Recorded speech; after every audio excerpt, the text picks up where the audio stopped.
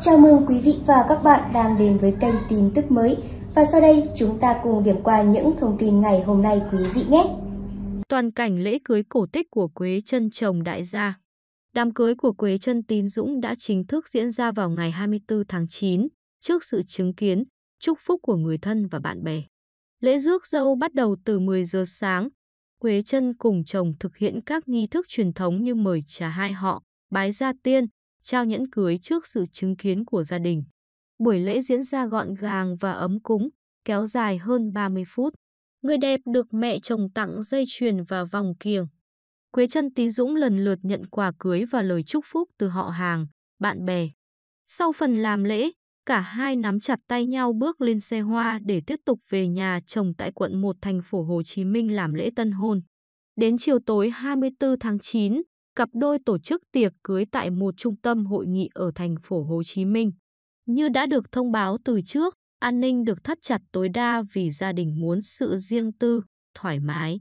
Quế Trân cũng đã gửi thiệp xin lỗi đến các phóng viên vì lý do thắt chặt an ninh nên không vào phía trong tiệc cưới tác nghiệp được.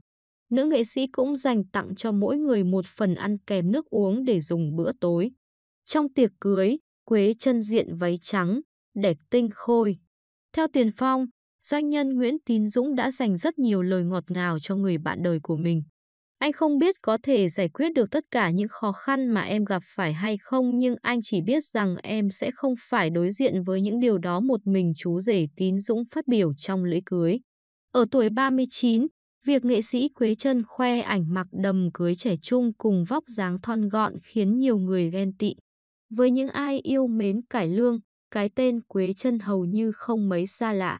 Sinh năm 1981, đã hơn 20 năm cống hiến cho nghệ thuật, chất giọng trong trẻo, ngọt ngào cùng làn hơi dài đã trở thành biểu tượng của nền sân khấu Việt. Tuy vậy, phía sau ánh đèn sân khấu, Quế Trân lại có cuộc sống khá kín tiếng, đặc biệt là chuyện tình cảm. Ở tuổi 39, Quế Trân vẫn chưa lập gia đình và chưa từng tiết lộ về bạn trai. Mới đây, khán giả bất ngờ khi nghệ sĩ Quế Trân khoe ảnh mặc đầm cưới trên trang cá nhân. Không mấy quan tâm đến vị hôn phu của cô nàng là ai, khán giả dành nhiều lời khen cho nét thanh xuân lẫn vóc dáng nột nà. Dù ở độ tuổi không còn trẻ, nhưng nhan sắc lão hóa ngược của nữ nghệ sĩ cải lương vẫn khiến nhiều đàn em kém tuổi phải suýt xoa. Khi được hỏi về hôn phu, nghệ sĩ Quế Trân vẫn né tránh. Theo chia sẻ, cô muốn cống hiến hết mình cho nghệ thuật, hy vọng khán giả sẽ yêu mến mình qua những vai diễn trên sân khấu. Còn chuyện cá nhân, nữ nghệ sĩ xin giữ cho riêng mình. Tuy vậy, khán giả vẫn hy vọng cô sớm yên bề gia thất để tránh ảnh hưởng đến việc sinh con sau này. Dĩ nhiên, trong những sự cân nhắc đó cũng có lúc tôi đánh mất cơ hội. Nhưng tôi tin điều gì của mình sẽ là của mình, không phải có dành, có cố đến mấy cũng không có được. Con đường của tôi, nhiều người nhìn vào bảo êm đềm, và thực tế nó cũng như vậy. Tôi sống và làm nghề đơn giản, tôi và mẹ nương tựa vào nhau khi cha qua đời. Sức khỏe mẹ tôi bắt đầu xấu đi. Thật sự, tôi hết sức yếu đuối nhưng gia đình không còn ai. Nếu tôi không mạnh mẽ thì không thể lấy ai mạnh mẽ thay tôi. Đẹp và thông minh đều cần.